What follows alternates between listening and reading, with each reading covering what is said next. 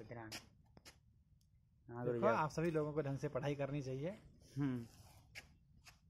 अभी सांस्कृतिक कार्यक्रम हो रहे हैं। उसके लिए अभ्यास कीजिए। राग वाग गानों का कोई अभ्यास करना है तो, तो भी वो भी मैं करा दूँगा। आके अभ्यास कीजिए। इसे रिकॉर्ड करने से नहीं होता है।